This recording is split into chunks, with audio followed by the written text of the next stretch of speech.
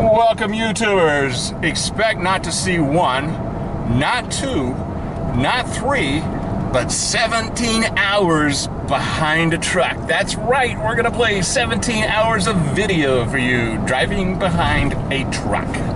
Just kidding.